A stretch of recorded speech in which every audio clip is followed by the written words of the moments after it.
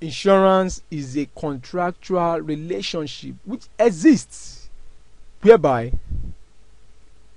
a party known as the insurer undertakes to indemnify the other party known as insured for loss upon a consideration known as premium furnished by insured consideration consideration. We said it is must be something of value in exchange. In exchange for something for promise made. Consideration consider there's no way you talk about contract without consideration is more it is the soul of the contract. It's what vitalizes a contract. Because when you talk about a contract and you're not talking about consideration what is what are you giving? Can you are you doing it for free? No. Then your consideration becomes something of value. Could be money.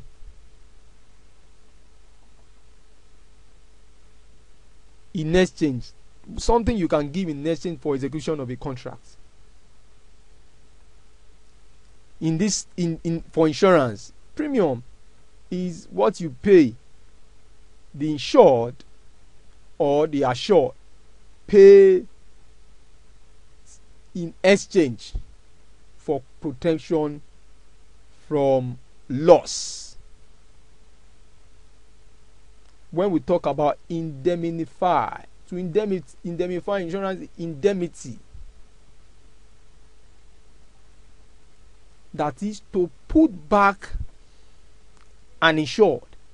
In the possession the insured was before a loss occurred. For example motor accident. If an insured that has a comprehensive motor insurance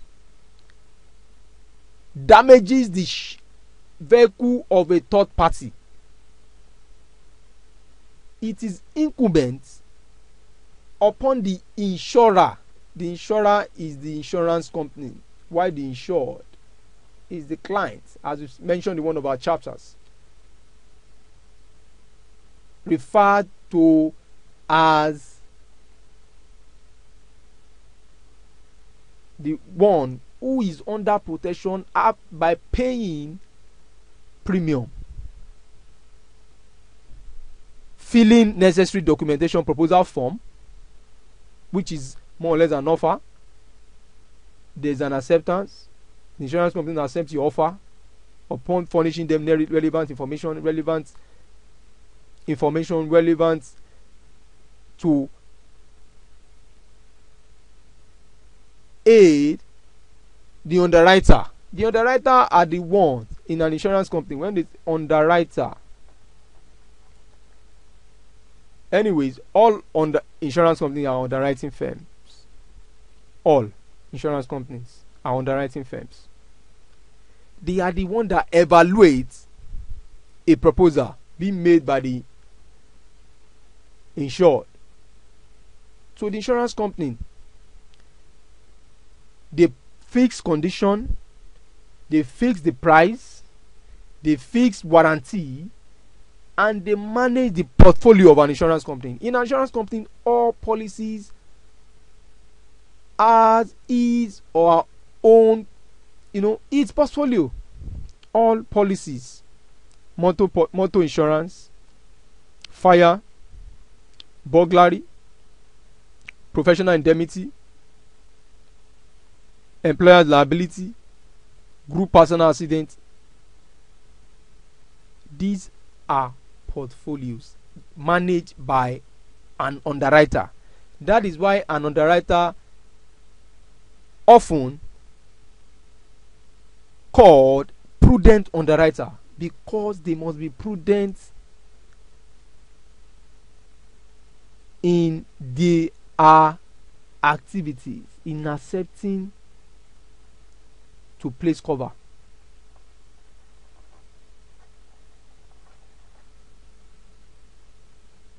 To place cover. So to have proper understanding of insurance as a whole. Um, all these concepts are necessary for us to have um, full assimilation of this um, topic, um, insurance. It's very interesting. Uh, we've talked about indemnity. We've talked about the insurer. Talk about the who the insured is. We talk about the underwriter. Are the people that evaluate um, fix policy conditions and then terms, um, accept pol- insurance policies, fix insurance premium, manage the portfolio. And I've been able to establish that we have fire portfolio, we have motor, we have burglar, burglary, we have group personal accident GPA, we have professional indemnity, professional indemnity. Insurance. We have we have several. We have um, um, we have public liability insurance. We have several. Building under construction insurance. We have um, engineering insurance.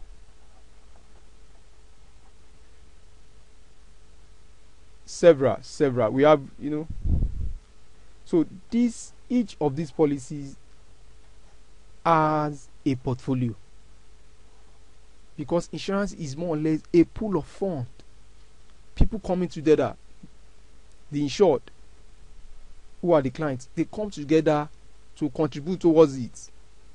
Everybody requires requesting for motor insurance will contribute to this pool this portfolio it is the underwriters that help them manage this portfolio so that it will run the portfolio won't run to a loss. If we have 100 people in this category of insurance and they have contributed their premium valuing 100 million the underwriter will ensure that this money is well managed such that in the event of loss because loss is actually when what triggers insurance itself. When one of these people the insured gets involved in an accident a vehicle accident then it triggers the essence of insurance. That is when you talk about claims payments. The insured make claim when you report a loss. Oh, my his vehicle was in, Mr. Hay vehicle was involved in an accident. He reports to the insurance company immediately what is seeking is indemnity. Please put my vehicle in the position back to the position it was before the loss.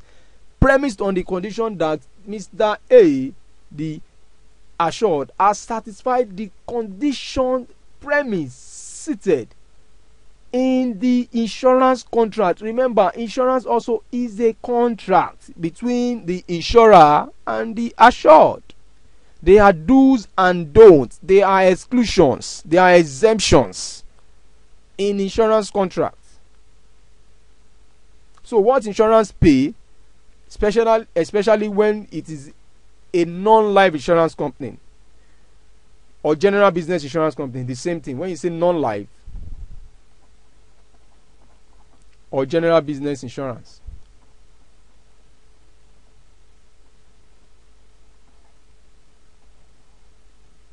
this class of insurance company deals with all what I've mentioned here.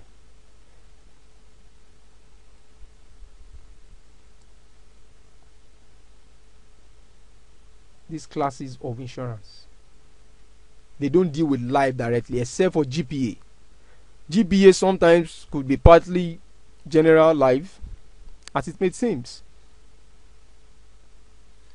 Professional indemnity is liability, professional liability. Exact, for example, a doctor, a lawyer, you know, a lawyer giving you a wrong advice, a doctor giving you a wrong description, causing resulting to death or disability on the part of the client. If it reviews, investigation reviews that it was what the doctor prescribed wrongfully that led to that crisis, the, the doctor becomes liable. Then this policy is therefore triggered. The insurance company comes into play to pay damages. It's a civic wrong. You know, civic law wrongs are often in form of damage. You pay damage, you pay fine. So let's continue. Insurance distinguished from assurance. Yes, there is need to go back to this. We talked about non-life general business. They are the same. When you hear non-life, but in the part of the world we call it general business insurance. Mostly, most of the policies under general business non-life are inanimate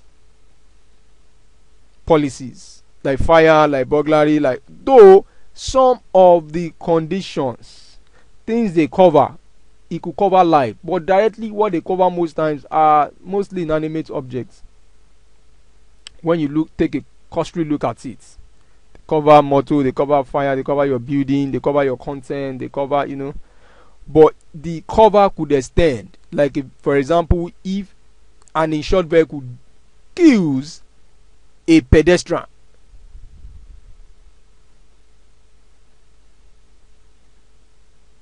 while in the course of driving. The insurance policy covers such. But insurance, this policy is covering the vehicle, not the person now. It's the vehicle. This vehicle, not that the person will go and the, the owner of the vehicle parks his vehicle, goes to kill another. Is the person is not covered. It is the owner of the vehicle driving that vehicle and injuring or killing another person. That is when the insurance policy comes into effect. So, on other classes, we have life. There are some there are some insurance companies in Nigeria. What they are, this kind of insurance. If a company is practicing is only selling life, transacting general business insurance alone, they are classified as specialists. Specialist insurance company. Any this life aspect deals with human itself. You can insure your life. You can insure the life of your children. And it is more or less investment insurance also. Apart from the life aspect it it it it, it, it deals with investments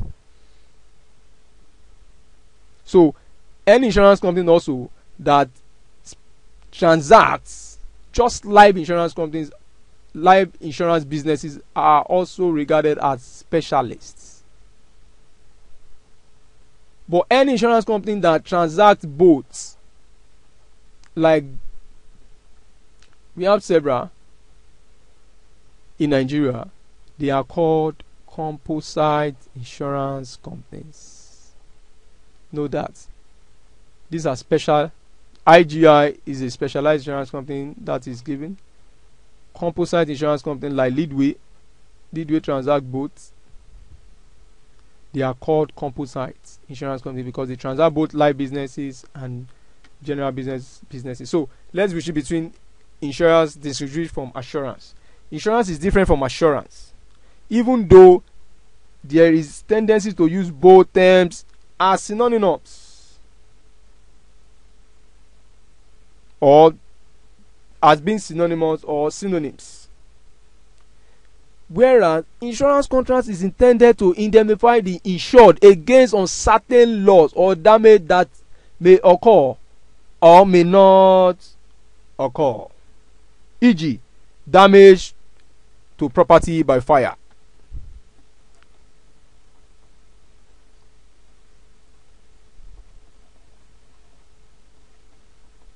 Fire contract of assurance is one in which the assured or his representative are to receive a sum of money on the occurrence of an event which is bound to happen at some times although the time of happening is uncertain e.g. debts assurance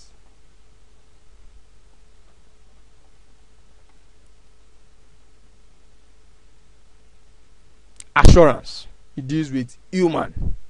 Human. Human. Deals with human being. If for assurance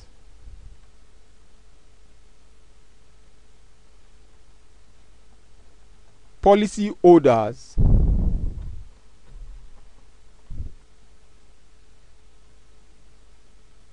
under this class of insurance are called assured.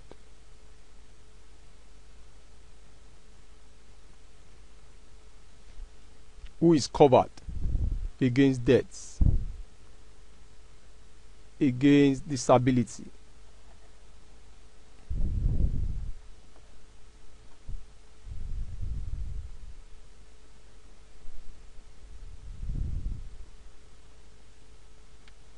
so that's that.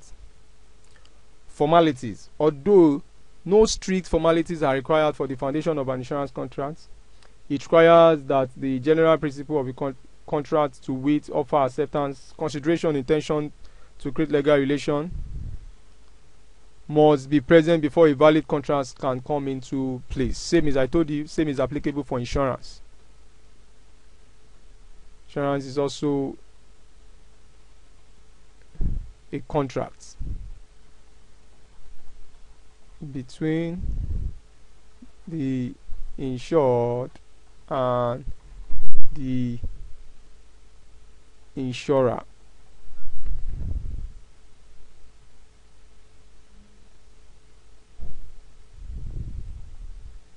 It covers unforeseen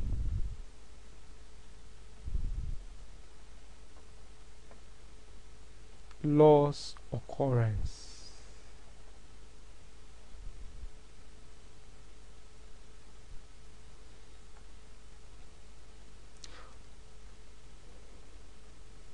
in practice, the proposed insured person makes an offer to the insurer by completing what is called or known as proposal form.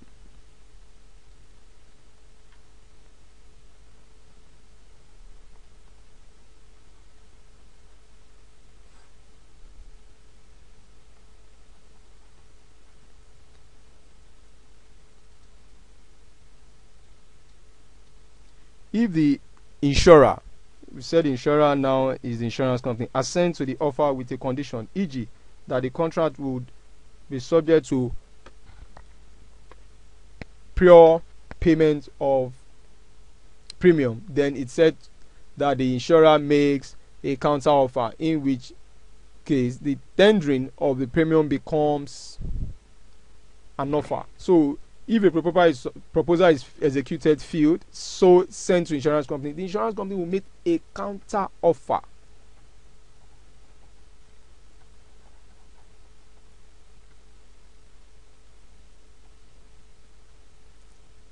In terms of premium to be premium to be paid. If this premium is paid then there is acceptance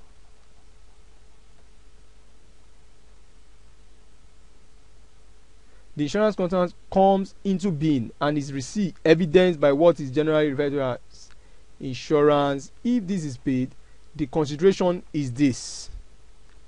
The document itself. That is intention. Because you keep your um, this is paid proposal form is there